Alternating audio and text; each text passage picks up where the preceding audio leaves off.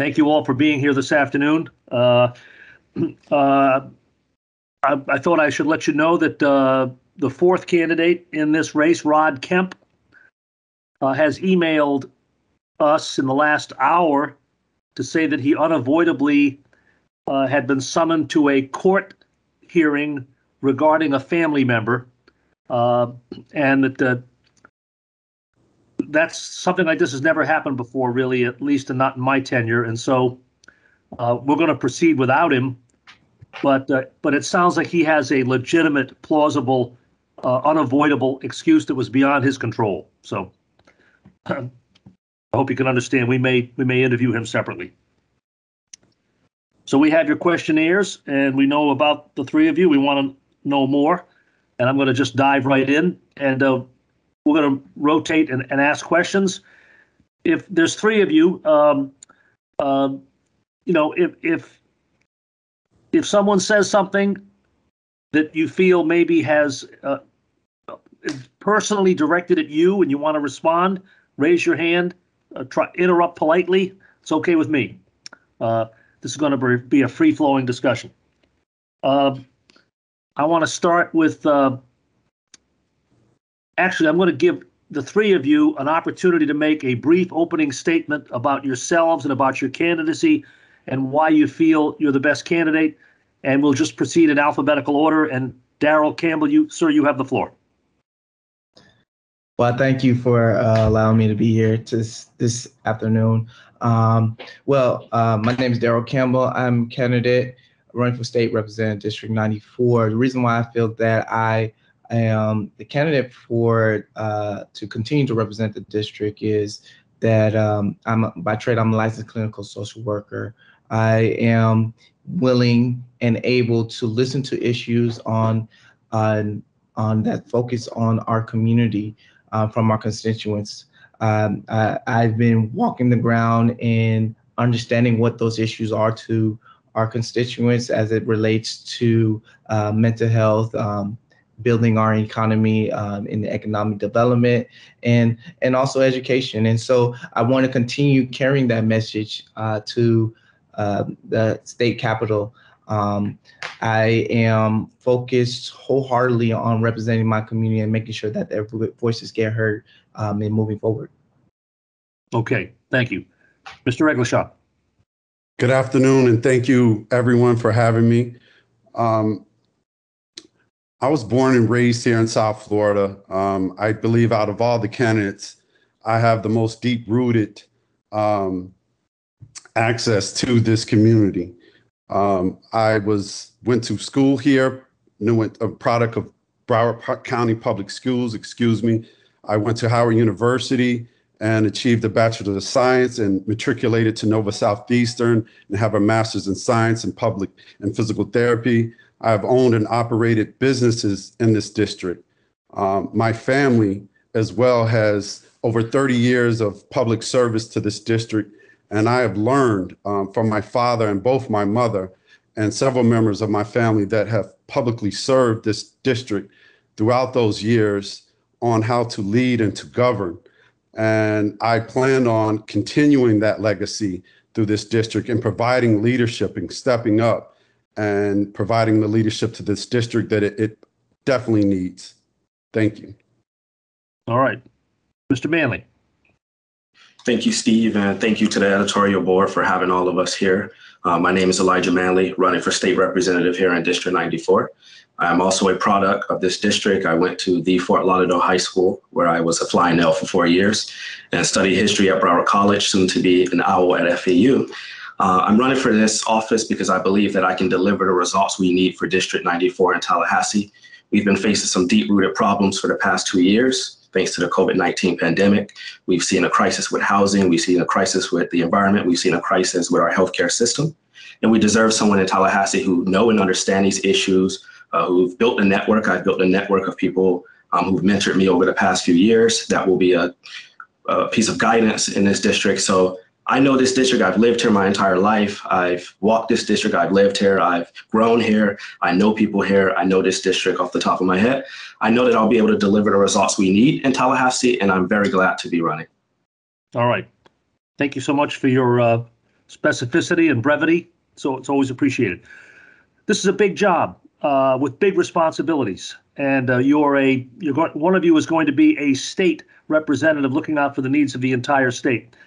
We at the Sun Sentinel expect people who run for the legislature. It's great that you're offering yourself for public service.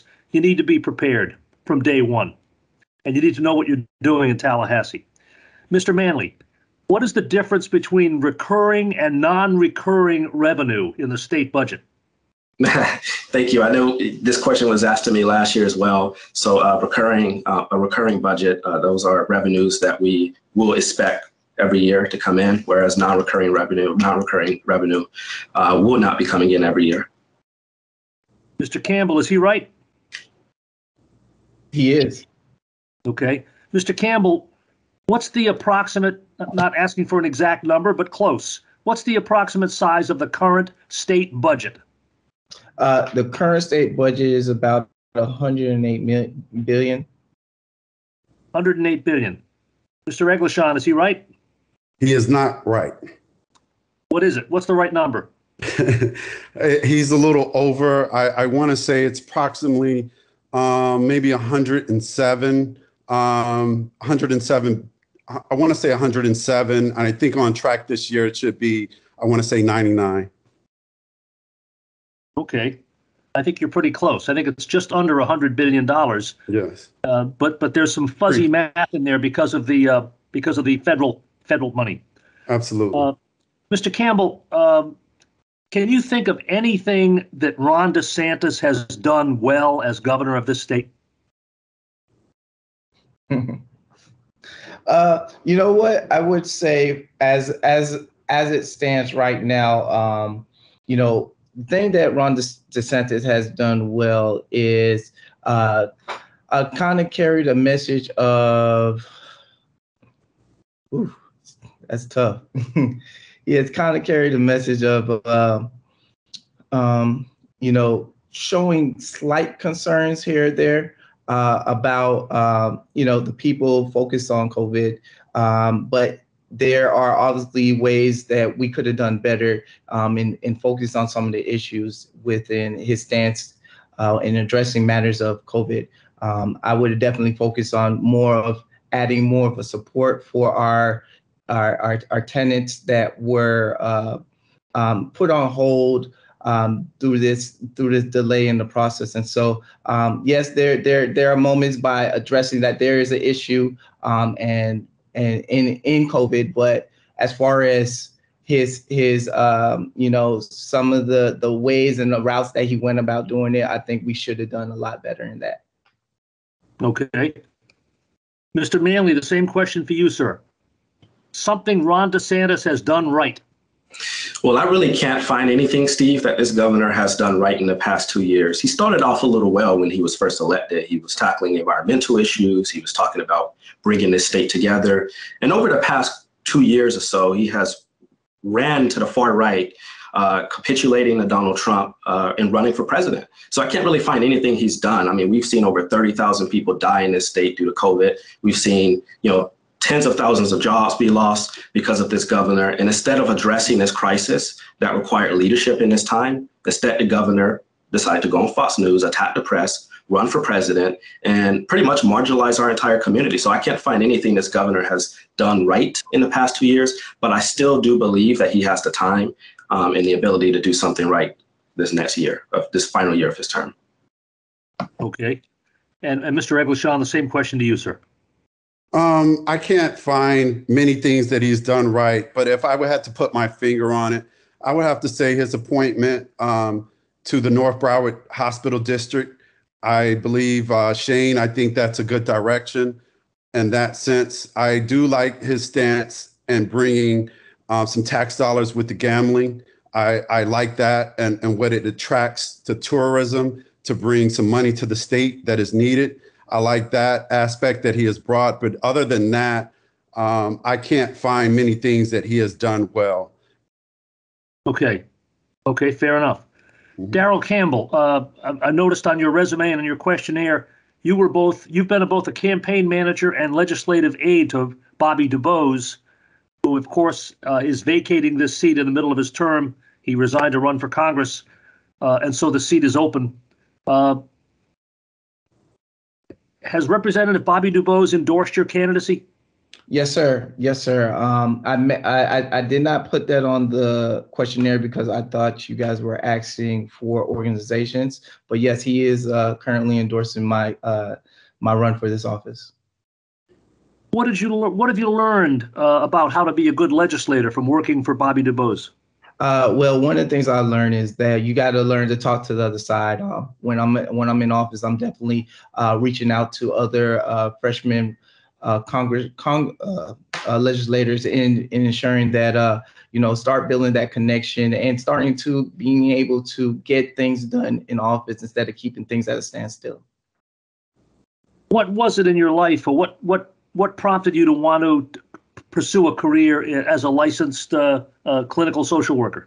Well, my purpose has always been to help uh, one individual, and and so in finding my purpose in helping one individual, it just grown and expanded from one to two to three individuals, communities, families, and now um, you know working on policy level issues that are affecting these same individuals, these same communities, and these same families. And so um, that that is what prompted me, and so that's what I I plan to keep a focus of, and and what I plan to continue to do moving forward is make sure the community's voice is being heard. Tell us what the biggest, in your experience as a social worker, tell us what the biggest need is to continue to build strong families and and in in House District 94. Uh, What's well, what's missing?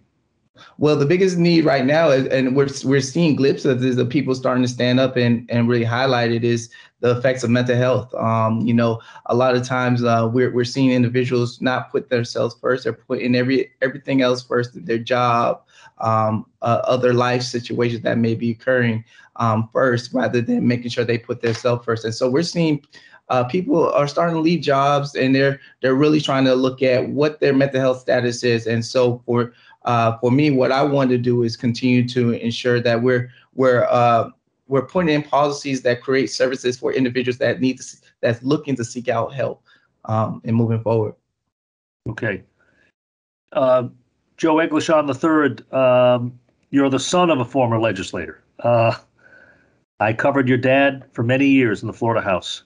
Um, and so I, it's an obvious question that I would ask you, what, what lessons of life and political intelligence do you draw from being his son? Well, the environment has changed since he was in the legislature. Um, those days with Lawton Chiles uh, has changed a lot. There was a lot of bipartisan relationships. You know, they didn't let the party rule things. And I think that's what's missing today. So, what I've learned from him was yes, you have to, you know, relate to the other side, but you can't always vote for what the what's what the party is trying to hold you to. You're there to represent your district, and sometimes you have to do what's right. You have to do what's right for your district, and you have to vote for what's right. And sometimes your party may want you to pass a bill that's not necessarily right, and you have to to vote for things that are right, and just you can't get caught up on party. So I, I've learned not to to get caught up on things and to just do things what's right for the community to always have to listen to your base and most of all to have faith and and, and god. Um, i know my dad you know he prayed before every time he went on the floor. And for me i have that in my life and it's instilled in me. And those are the things that i've learned just not to not be in touch with your base to definitely always have a heartbeat on what your community wants, but to do what's right for your community. We have to bring something back. Why is Tallahassee more partisan today than it was when your dad was in the House? Well, you know, things are different. Um, over the last years that you have, I mean, of course, we've had the the past two governors have been Republican, and that's when you see that, that there has been a change, and it's just people are caught up with this party. People are caught up with you know, it's right wing for the Republicans, and and we just have to get things done. We just have to come together and get things done. I have Republican friends, and I understand some of their issues. And I'm a Democrat, and I I understand the issues that we have. And we can come together, or my friends can come together in the House and agree to disagree, but we have to move forward in the right direction for the people because we're just not doing this for a gas bag or just for the quote unquote clout to be a legislature. We're representing the people and we have to come together for that. Okay, Mr. Manley, you know, uh, I think you're the youngest candidate in this race, uh, but you've you've been interested in politics and public service for a long time. I, would like to ask you um, to tell us about a Democratic, a Democrat uh, in your party, somebody who you admire, someone you would emulate uh, in public office. That's a great question. There's so many to choose from, Steve, but I, I really think um, and, uh, that Anna Eskamani is uh, one of the best legislators we have in Tallahassee right now. Um, she leads by example. She does the work. Um, and she doesn't just do, uh, do, that work during the session or, or, during committee weeks. She's out in her community every day uh, fighting for her people. I mean, what she did this past year with the unemployment system, I mean, she helped people who didn't even live in her district. Um, and so if I'm sent to Tallahassee, I hope to learn from her, uh, to be like her, um, and to grow into a legislator who could be worthy of the shoes that she walked. I mean, there are others. I mean, Representative Alexander, who's incoming Democratic leader, is also great. He was my age when he first ran for office, so we share a couple similarities. And, when we talk, we talk a lot about you know what it means to be a legislator, what it means to serve your community. And so he's one of the people I look up to as well. But so I think him, uh, Representative Alexander, and Representative Eskamani is uh, are two leaders um, everyone should strive to be in Tallahassee. Okay. I think uh, Anna Eskamani, uh, somebody we know well, Anna Eskamani would would uh, would agree with my description of her. She's an unapologetic progressive. Yes.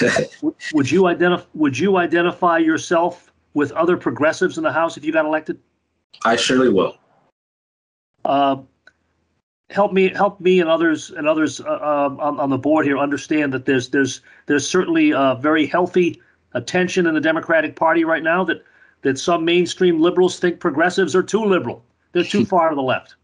What, how would you respond to that? I don't think that is the case. I think we are seeing a change in politics. I think we've seen this change over the past. I mean, every generation there is a new change in politics, um, and I think the party is becoming more left. But I think the poli- the party is looking at all of what's going on in our society over the past 40 years with the war on the working class, um, with the environment, with everything, and they're saying, well, gee, gee whiz, these issues don't seem as radical um, as they've been made out to be for the past few decades. Things like Medicare for all um, isn't as radical as it used to be. I mean, things like making sure that we have clean drinking water uh, coming out of our faucets every day. Um, these are not radical issues anymore. And I think a lot of people are waking up to that. And I do reject the um, the labeling that people in the public put on this um, in our party about this being divisive, uh, about this being a progressive versus moderate issue. I don't think that's the case. I think these are really healthy debates in our party. And I think, you know, all of us, we really share the same goals in the end, which is making sure that we protect our democracy. And in the end, we want the same things for our community. So I think progressives are so in, in a way saying some of the same things. And I think moderates have a lot to learn from us. We have a lot to learn from them as well. Um, but I think there is a a realization in a party that the working class people, our base of our party, um, has been neglected over the past few decades, and we are reclaiming that time. Okay. I'm going to step back here and just open, and I'll ask my colleagues Dan Sweeney and Martin Dyckman if they want to jump in with any questions.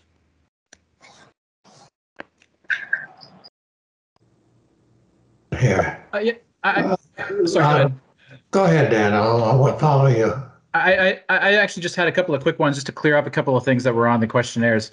Uh, Mr. Campbell, um, you didn't listen to, list an address on your questionnaire, and I'm I'm not saying anything about about you particularly, but in previous cases, when people do not list addresses on their questionnaires, and it's a district where you must live in it to run, we have seen that that's you know usually they don't live in the district. So I want to ask you straight out: Are you a, a resident of District 94? Do you do you live in this district? I do. I do. I live in Lauderdale Manors. Okay, and you don't live anywhere else any other time of the year. This is this is your home. Yeah. Okay, great. Like I said, I'm not I'm not uh, you know saying that that anything's you know nefarious about your questionnaire or anything, but it's been our experience in the past mm-hmm. that uh, people that don't list their addresses, there tends to be a reason why.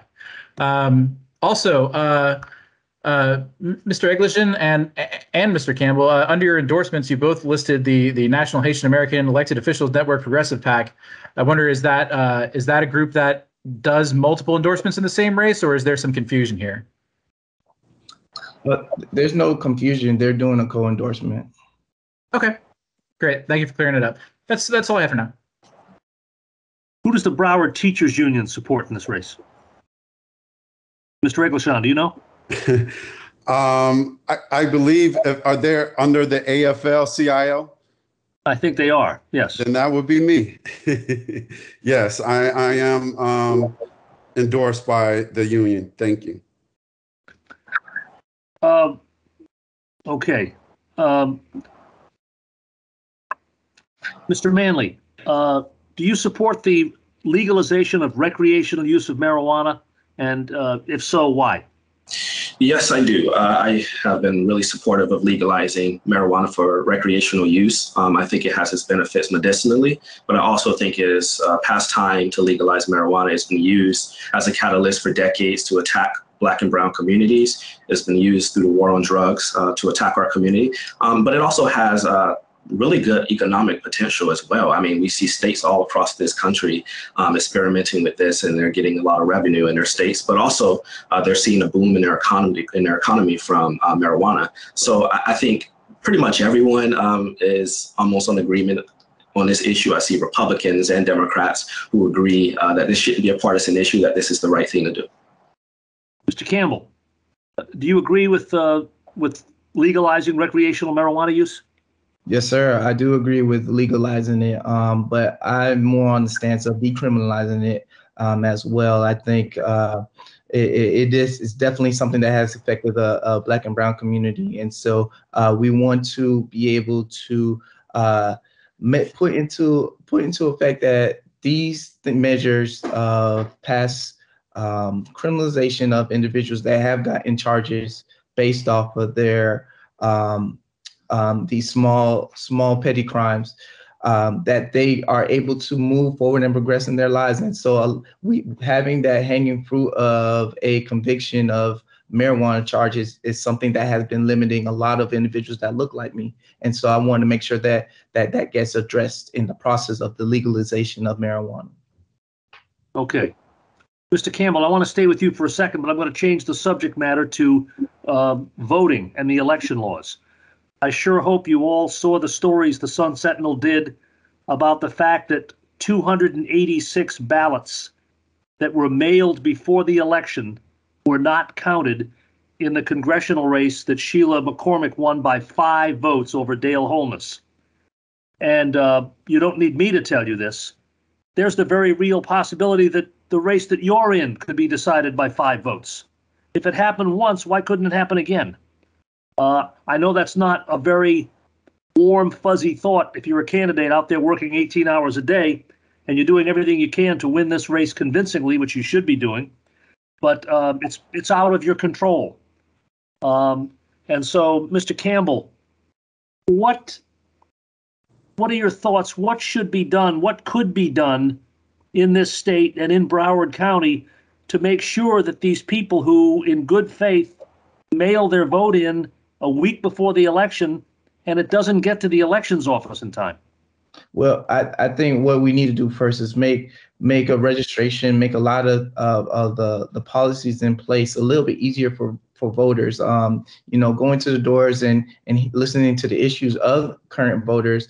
Uh, a lot of them are are not even aware that a special election is going on, and so that's a that's a that's a problem. And so the fact that we're here sitting sitting during Christmas time, where we should be having that with our families, we're over here battling out, trying to see who would be the next representative of, of a state. But when we're um, when it should be focused on family, um, you know, being around our children, our our our our loved ones. And so um, I want want to make sure that we sh- we make a, a send a message and and get the message out that our elections are important and so keeping people well informed is what I've been doing and what I will continue to do um, by walking the doors and getting people out and getting people motivated to go ahead and vote. Mr. Eggelletion, I want to give you a chance to address that same question. What what ideas would you take to Tallahassee about making sure that no one gets disenfranchised in an election, especially a special election? Well, of course, um, we need to get the, the message out to vote, but I think we need to repeal this this this voting act that they passed, and that needs to be the first thing. And I would say, thank goodness, and no disintent to our own election, but thank goodness this is happening now, so we can get this out now and get the rough edges out. So when it comes up and we have the gubernatorial race, which is very important um, we need that in focus because there are some when the general election comes we need all these kringles and crinks smoothed out. We need to have this under control and done. And my my my vote will be to repeal this. And we definitely need to as as daryl campbell said we need to get out and vote. We need to get the message out to these people that there is a special election because when I go and knock on the doors, they're asking, when is this election? Um, so we need to get the awareness out. We need to get people out to vote, and we need to send a message. Both parties need to send a message that uh, it's very important that we go and vote. Okay, yeah, I think the bill you're talking about repealing is the bill that, um, among other things, you have to renew your request for an absentee ballot much more frequently than you did before. I want to give very quickly Mr. Manley a chance to address the same question. What what are your thoughts about what needs to happen here? Yes, I thought a lot about that, and I am really interested in changing the law so that people who send their ballot in postmarked before election day, even if that ballot doesn't get in exactly on 7 p.m. election day, it should still be counted because everyone did their part and the post office should not be deciding the elections in this country. It's not democratic. So I think we need to change that law, and that's something I'm extremely interested in pursuing if I'm in the state house. Okay, Martin Dyckman, go ahead. Turn your mic on, Martin. I'd like to ask a question about, excuse me, the courts. Most of the judges who hear trials and deal with people on a daily basis, and all of the appeals court judges are appointed in Florida. Are you uh, satisfied with the way these appointments come about? And if not, what would you do to change them? Mr. Manley, you go first. Um, I do think the governor has made some good appointments to the courts. Um, I don't agree with all of them. Um, obviously, you know, coming from a political standpoint, I would prefer people who share my political ideas. I'll be straight up honest about that. Um, but every governor has the right to appoint, you know, someone qualified to the courts. I do think the governor should be working more uh, with the bar instead of having uh, instead of bypassing the bar, the bar association in their case. Um, so I'm not entirely satisfied with it, but I do share, uh, I, I do appreciate some of those appointments made by Governor DeSantis. Some of them have been very good people. Can you, uh, uh, before we go to Mr. Eggelletion, can you give us a specific, give us an example of somebody who he appointed who you think is a good appointment? I have to think on that. No, nobody from the Supreme Court for sure. I definitely think that should He's, be. Uh, he's, he's, he's appointed a- probably, he's probably appointed four or five judges in Broward already, I would think. Yes, he has. He has Yeah. appointed uh, four or five. Um, I, I, I do believe if he hasn't already made this uh, public, there was a judge in Broward um, who we just elected that he's uh, considering appointing to a to a higher court. I don't remember her name off the top of my head, um, but I think she was a pretty good choice for that seat. Okay. Mr. Eggelletion, if you could address Um, Mr. Dyckman's question. I would just have to agree with the process. Sometimes it's just the way the cookie crumbles. You know, if we had a Democratic uh, governor, I'm sure he would point someone that you know aligned with his issues. And unfortunately, we haven't had that, and that goes back to we have to have to just get out and vote and um, and get the person in charge to make those right decisions to appoint those that are best. But um, I do hope and think and would like to think that the governor is choosing these judges based off of merit, experience, as well as uh, as well as their um, you know their qualifications. Okay. And Mr. Campbell? Can you repeat the question? That you broke up while you were stating the question. Sure. Go ahead, Martin. Uh, uh, Mic's off. most of the trial judges in Florida and all of the appellate judges are appointed uh, as a result of a process in which nominating commissions, I'll elaborate, I didn't go through this before, nominating commissions recommend to the governor. Are you satisfied with the way that is done? And if you're not satisfied, why not?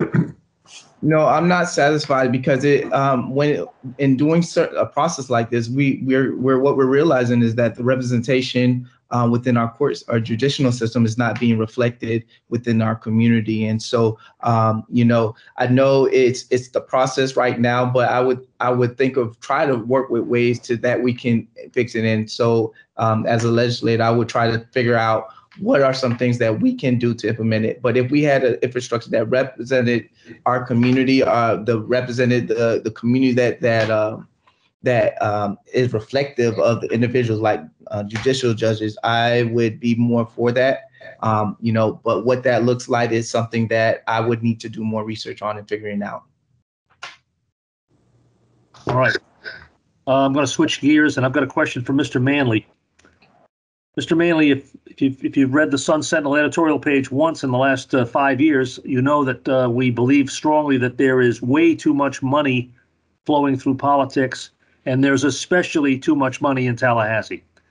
And one of the reasons there's too much money in Tallahassee is because the law allows candidates like yourselves to have a uh, a campaign committee, which is subject to the three thousand uh, uh, dollar limit. Um, actually, it's a it's a one thousand dollar limit. I'm sorry.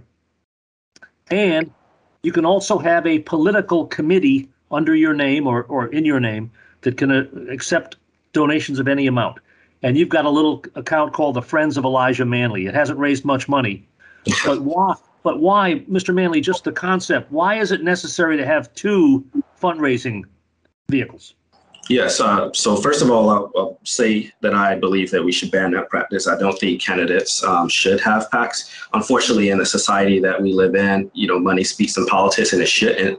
Um, we need major campaign finance reform, and we should not have political committees spending tons of money in elections. Um, I know that there are a lot of people who believe that, uh, who believe the opposite, who believe that you know money is speech, and corporations should be allowed to dump you know millions of dollars into races and come in at the last minute, like what we saw in SD 37 with FPL and other groups pouring money in um, behind the scenes to fund a scheme candidate, uh, which cost us a Democratic senator. And we've seen how that has, has played out. Um, I, I, I, think that there needs to be major campaign finance reform here in the state of Florida. We need to do away with candidates um, having political committees. I never understood it myself. In my case, I created one. I had a couple uh, supporters who said, "Hey, I, I have two thousand. I, I want to give you another thousand, and they gave it to my committee, and it kind of put me on a level playing field uh, during that time. Um, so I definitely think you know it's a practice we should do away with. We shouldn't have it. And I also support banning um, money from lobbyists and special interest groups to candidates and committees as well. I know that might seem a little bit too much, but I definitely think that is one of the ways we could um, protect our democracy from special interest groups. Well, why shouldn't uh, why shouldn't a lobbyist be allowed to write a check to a uh, to a legislator or a legislative candidate?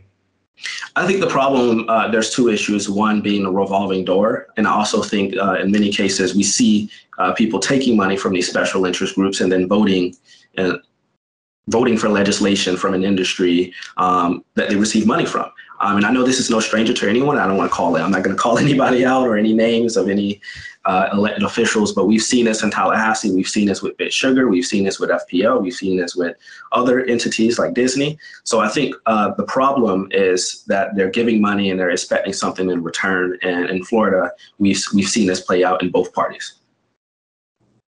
Have you gotten any campaign contributions from Tallahassee lobbyists? I don't believe so. I don't think I would be the guy they would want to give their money to. Okay. Uh, Mr. Eggelletion, uh, you too had a um, had a piece, the uh, Joe PAC.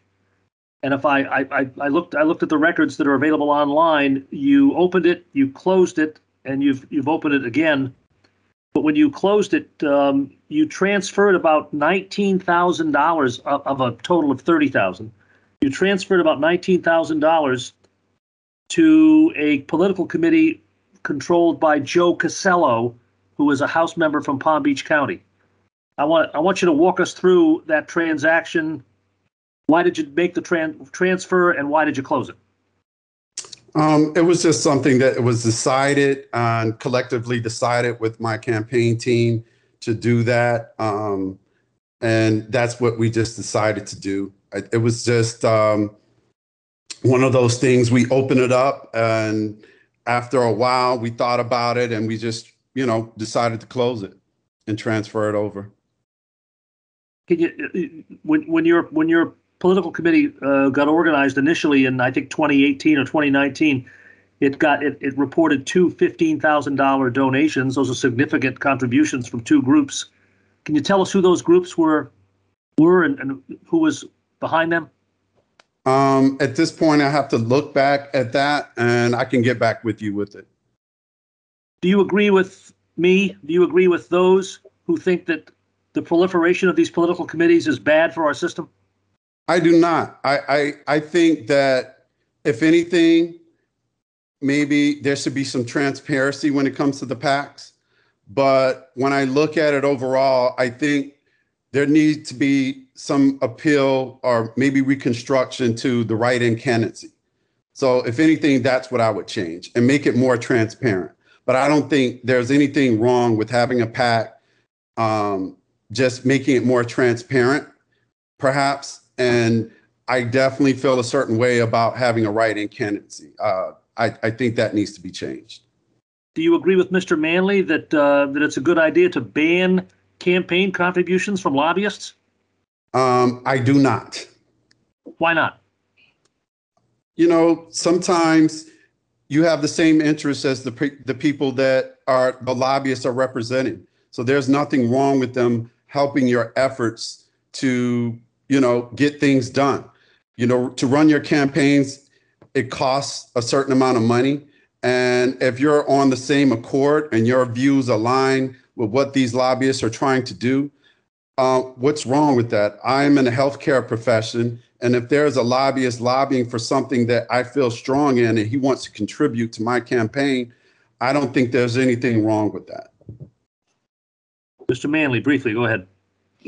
Not attacking Joe or anything. I think he's a really good guy. I, I- just would like to say I disagree with uh, what he was saying.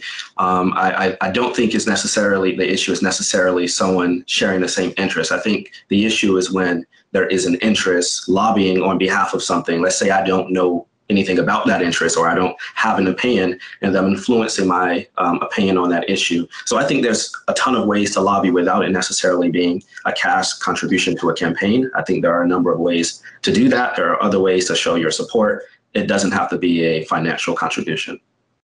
Go ahead, Martin. One of, excuse me, one of the big surprises I learned as a naive young reporter way back in Tallahassee, m- before some, before you were born, Mr. Manley, is that the um, lobbyists not, not infrequently write the amendments that legislators submit on bills in committee and on the floor. If you were elected, and I address this question to all three of you, if you were elected, would you accept an amendment from a lobbyist and introduce it without running it by uh, the legislative bill drafting service? Absolutely not. I think I will be working with the Democratic caucus to write legislation. I don't think uh, if I don't understand the issue, I'll, I'll seek help. But that doesn't have to come from an outside group. I think I can adequately and eloquently uh, address what I want to see in law to the bill drafting service in the House and have them draft that legislation without it going through a lobby clearinghouse, a lobbying clearinghouse. Mr. Eggelletion.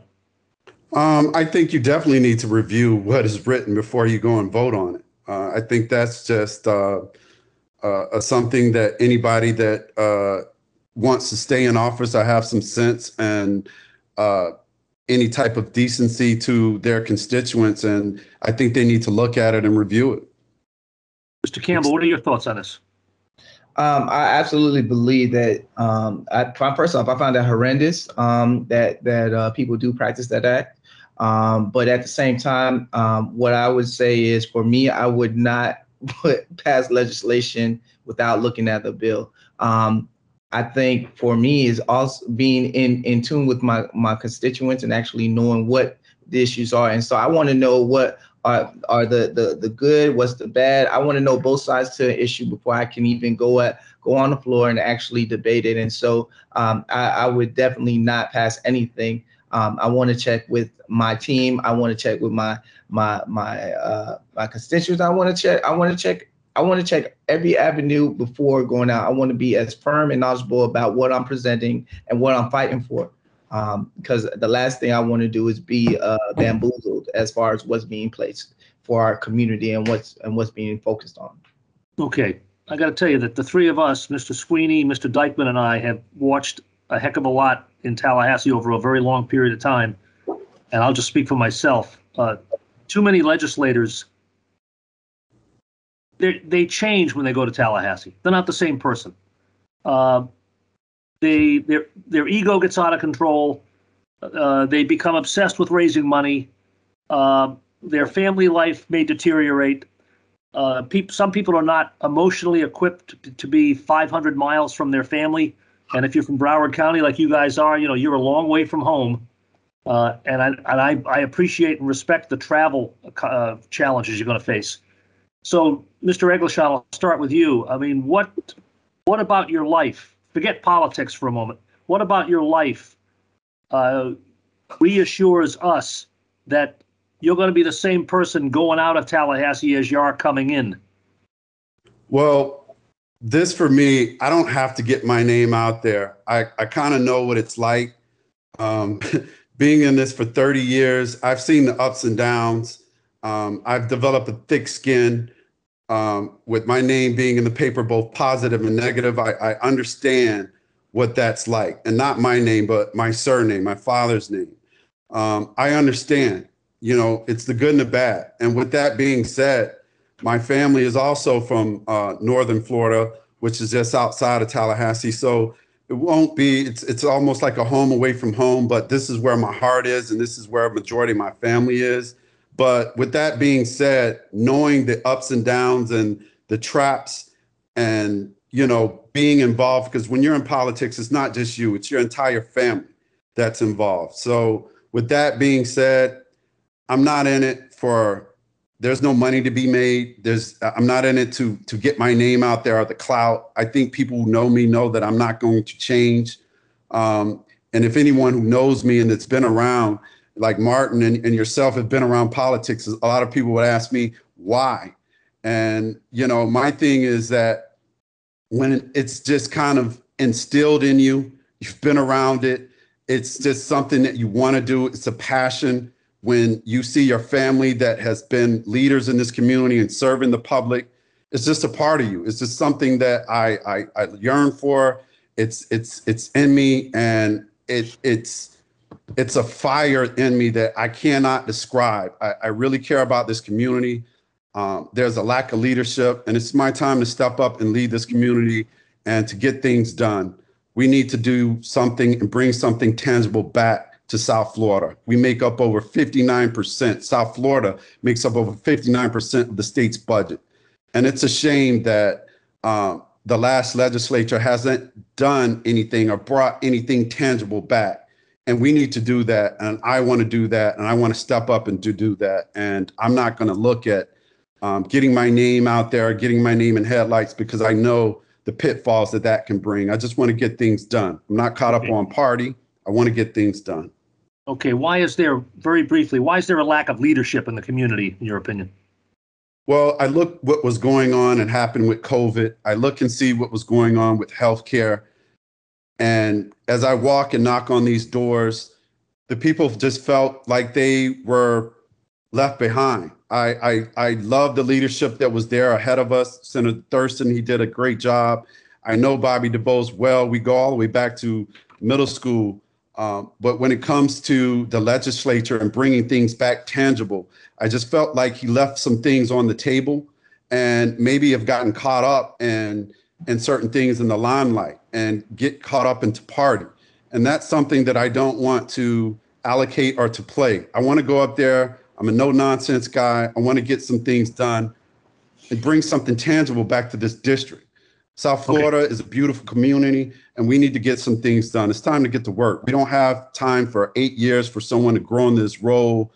We need to get things done day one. Mr. Manley, uh, is Mr. Eggelletion right? Lack of leadership in the black community?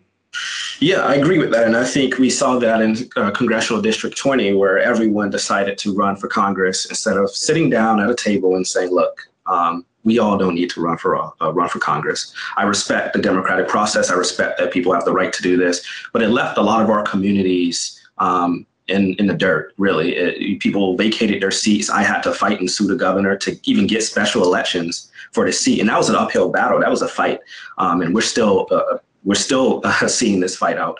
Um, so there, there was a lot of lack of leadership in this community due to that, and we see this in many cases with this whole divide in our community Jamaican versus Black and Haitian and Caribbean versus them.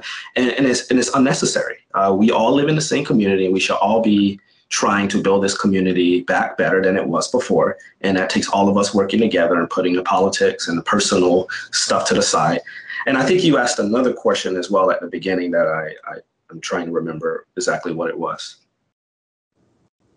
Okay, well, I'll, I'll, get back to that. I'm sorry about that. Uh, let me just make the point that, uh, you know, uh, I remember a time in Broward County when you could count on one hand the number of black elected officials. Okay, uh, Carlton Moore, Sylvia Poitier.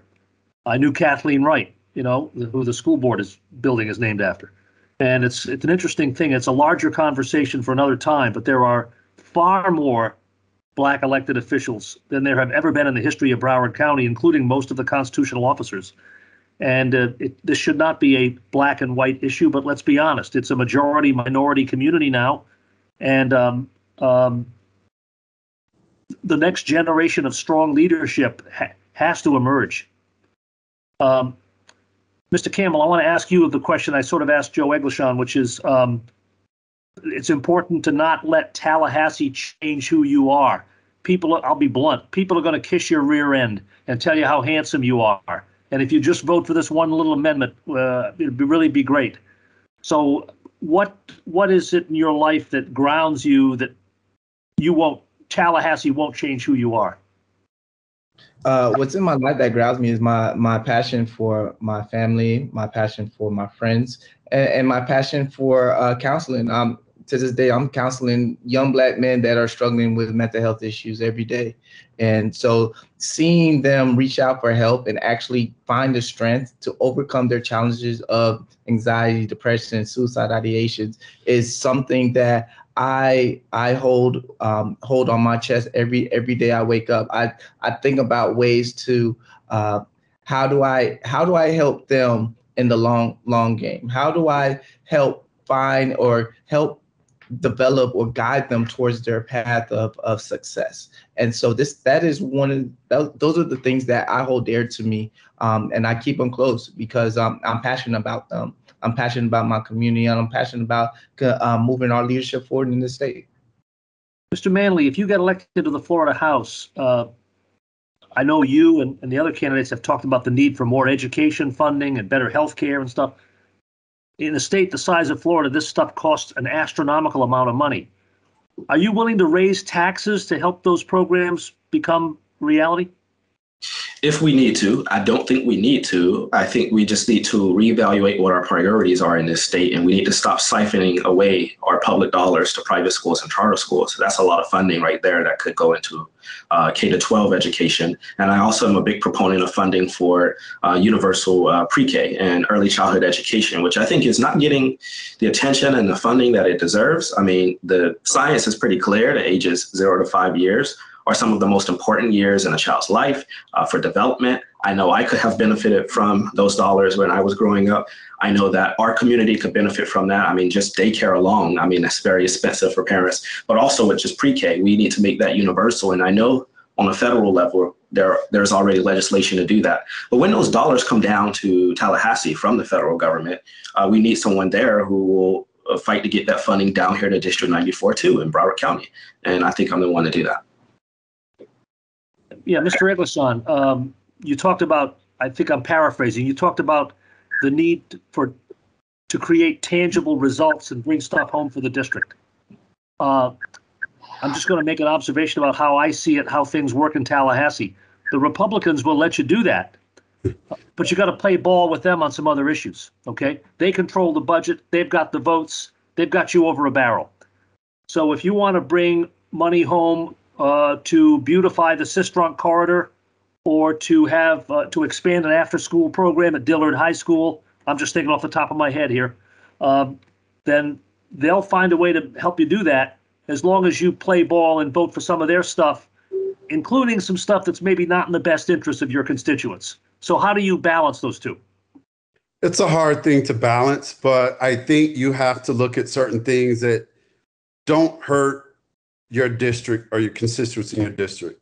And those things that I align with that may not particularly hurt my district, I would definitely work with the other side to get certain things done. Okay.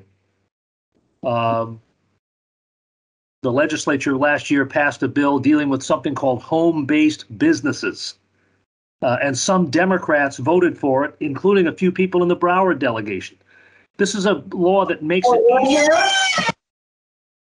This is, this is a bill that makes it easier to run a business out of your home. Uh, even if City Hall doesn't agree. And maybe you saw, maybe you didn't see the news story recently that as a result of this bill passing, a guy in Lauderdale Lakes is selling ammunition out of his apartment.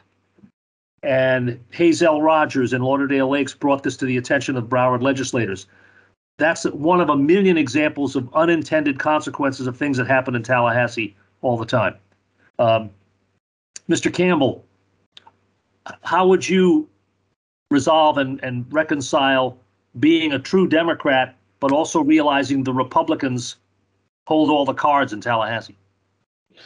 Well, definitely is hearing that the issues and weighing the pros and cons to every situation. Of course, there's going to be outliers um, to to policies that are in place, and so uh, you know we need to pass certain things uh, such as home rules so that so so that um, these local um, cities can actually implement uh, certain things that can uh, uh, block uh, things from like this from occurring. And so, um, you know, I, I, I, believe, you know, there, there are things that I, I, know in Ocala, I will not know on a local level because that is not my, my area. And so we need to focus on allowing uh, these cities um, having more power and, and, and, and putting in place uh, things that can actually block certain things. And of course, we would definitely revisit this and definitely close loopholes to policies that um, that others may abuse um, through through various wording. Okay. Mr. Eggelletion, a, a biographical question. Um, you know, you're a you're a well-known person in the community, and you have a very well-known name, family name. I'm curious as to why you wouldn't have started out uh, running for municipal office, mayor, city commissioner, and so forth. It's just something that um, you know, I, it, it just never came up. It's something that I never had interest in. And just as well as the other candidates, they've never, uh, you know, run for local office as well. So with me and, and, and understanding, I believe that sometimes you, you tend to step on some toes of some of the leaders that you've helped to get into place. And I have helped, uh, uh, for instance, Hazel Rogers. I've, I've, I've campaigned for her, and my father has campaigned for her and a lot of these local officials, as well as uh, Mayor Ken Thurston. We have helped a lot of people get to that point, and at, at certain times, there's just certain lanes and and as I said earlier, um, my political aspirations have always kind of been in the background and helping others, but this seat opened up, and this was the time. This was the perfect seat for uh, I felt to run for at the time for me and my family as well as the community uh, needed a leader to step up in this time with the uh, with Bobby stepping down and resigning. Um, it was time for me to step up. Yeah. Okay. Uh, All right. R- r- real quick, just to just to clarify, uh, Mr. Eggelletion, you, you said uh, nobody else here has run for for local office. Uh, Mr. Manley, you run for school board, right? Yes. Okay. I just just in case anybody else is watching this when we post this, I want to make sure that everything's you know everything's accurate. Well, understood. I mean, as far as um, you know, city, he's run for school board and several, you know, other positions, but when it comes down to you know, city mayor, city council, or city commission in that sense, that's what I'm sure. I I totally understand what you were trying to say. Okay, fair enough. Mr. Manley, what uh, what endorsement do you have that you're most proud of? Huh, that's a really good question. I have a ton of endorsements um, from elected officials and organizations. Um, I am going to definitely shout out uh, Fort Lauderdale Mayor Dean Trantalis. He has been an incredible mentor to me. I've known him for, for several years since I was about 14 years of age. I worked on three of his campaigns uh, as a volunteer, as a paid worker on his campaigns. Um, and he has allowed me to watch how the city is run and the way the city works and has always listened to me and given me advice uh, as to how to be a better leader, how to be a better candidate, and eventually how to be a, a, a an awesome legislator. So I, I'm very proud to have his endorsement because you know he's someone I look up to, and he has always mentored me into um, understanding what you know, listening to other people and understanding the other perspectives that are out there, even if I may not agree with them. So that I think that is the endorsement I'm the most proud of. Okay.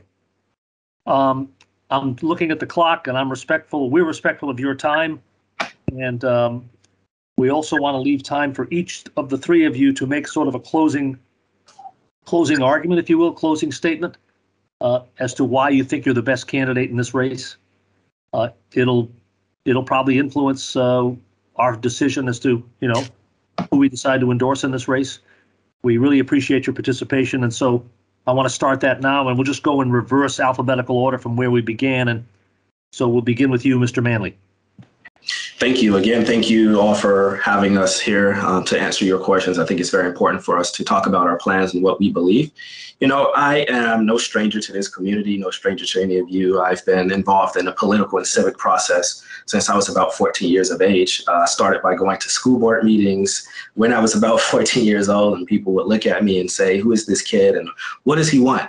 Um, and I was just very passionate about the political system, like I've always been, because I know how important these decisions are to our community, and I know how they affect our community, and because they've affected me. You know, growing up, I was chronically homeless. Me and my family, we lived, you know, in many cases out of a car, out of a storage facility, and I wake up every morning. It's still very hard to talk about, and I go to the beach before light the light came out, and I would shower and go to school every day like nothing was happening, and I go and I to get my education and just pretend like nothing was happening. And a lot of people didn't know about that. So I know how important these policy decisions and the people we send to Tallahassee affect our community. And I know that when I get there, I will remain uh, humble and I know that I will think about the most marginalized and most affected people in our communities, the people who don't have a voice, the people who don't have anybody there speaking up for them, because there are, there, you know, this is a very diverse and vast community. There are a lot of people here with different ideas. Uh, but there are a lot of people in our community who just don't have a champion in Tallahassee to fight for them. You know, I've been involved for quite a while. I've learned, I've grown as a person. Um, I've learned the hard way in some cases on some things. Um, you know, but I think politics is all about people. It's all about the impact. I'm not there for the title. I'm not there for the money. They don't make enough anyways.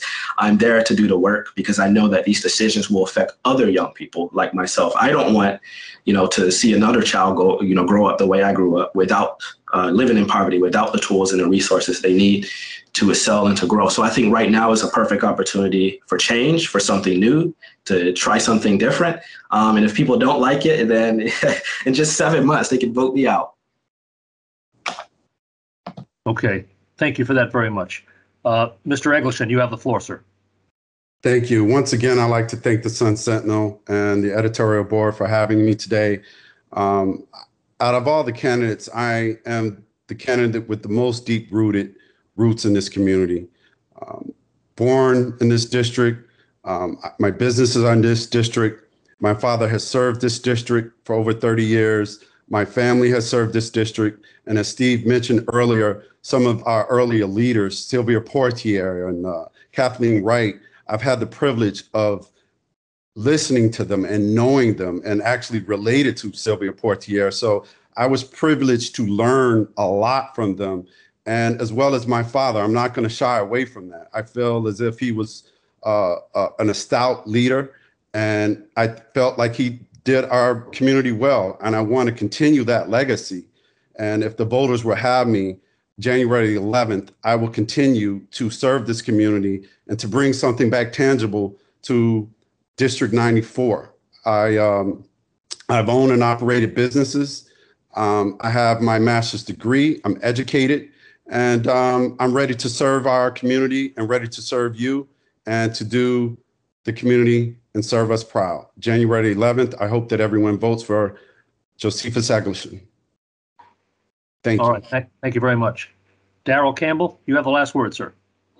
Well, first off, I appreciate you having me and, uh, and reaching out to me and being on. I, I'm, I'm glad to be a part of this, um, part of this process, be um, fighting with three other uh, men that are also uh, trying to vie for this seat. But for me, um, it, it simply goes back to my my my ability to uh, galvanize the community and be involved in the community. I, I served as a victim advocate for the state attorney's office. I, I'm, I'm a licensed clinical social worker that worked for the county um, for nonprofit. I worked for Henderson as an addiction therapist. And so I've been engulfed in community. I also worked for the current representative, Bobby DuBose, as his legislative assistant in this in this last session. And so for me, it's more of me walking in my purpose and walking in my light to uh, advocate on behalf of the community that I've been doing for so many years. And so um, I, I'm not looking back on the past. I know I'm not representative uh, co-leader Bobby DuBose. I know I am Daryl Campbell, and I'm looking to uh, continue moving our leadership forward. I've I've uh, learned from our leaders um, in, this in in my process and in my process of learning. Um, you know, it, it's gotten me to this state. Um, I'm always continuing to learn. That's why I'm currently in school at Howard University for my PhD in social work. And so I want to make sure that I'm adding adding that level of research component and data into whatever it is that I'm doing. I also have a private business that focus on counseling individuals in our community currently. And so um, I want to continue being a voice for the community. And by being a voice of the community, um, that it's been me in the community actually listening to these issues and continuing to move that that uh, pendulum forward. And so um, for anybody that's listening, um, however this is posted, please go ahead and vote Daryl Campbell on your ballot because I will continue to move us forward. Okay, thanks, Daryl. And thanks to you, uh, Mr. Manley, Ms. Eggelletion. Thank you very much for being here today. Appreciate your participation and uh, the best of luck to you. Thank you. Take care. Thank you. So long. Bye. Happy holidays.